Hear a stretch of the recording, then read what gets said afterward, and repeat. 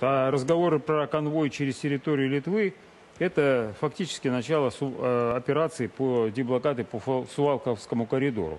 Вот, не более того. То есть проведение наступательной операции. Кстати, оперативная глубина небольшая, всего 60 километров.